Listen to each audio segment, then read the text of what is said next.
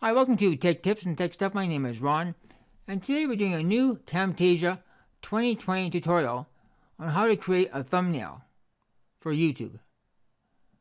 Now, I'm not sure how you use Camtasia, but I'm using it now for my video production. I'm taking screen capture and recordings from my camera and importing them all into Camtasia, letting Camtasia do all the work.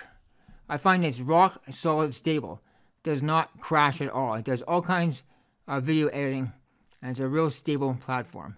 So, that's getting off the beaten track. I'm just going to show you how to create a thumbnail for YouTube here. So, let's find out where you want to take a thumbnail of uh, Tranya. Okay, right here.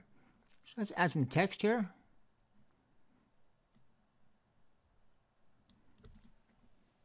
Winner. And uh, change the font.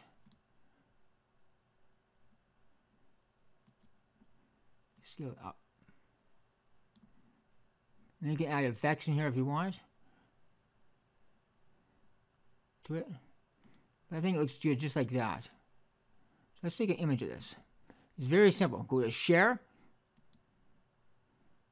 Export Frame As, or Control F. This is a test. Let's check it out, see what it looks like. And there's your thumbnail. So it's very simple to create a thumbnail for YouTube. You can always do just do a thumbnail and add the text in with Photoshop or uh, image editor afterwards as well. So just a quick tip today using Camtasia 2020. If you found this video helpful, please give it a thumbs up, subscribe, and as always, Thank you for watching.